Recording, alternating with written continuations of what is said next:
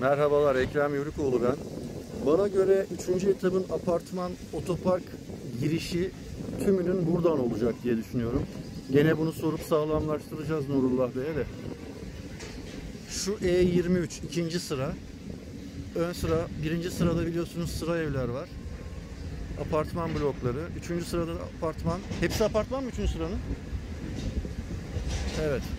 Otopark girişi de şu gördüğünüz kesim olsa gerek kolonlardan anladığımız kadarıyla.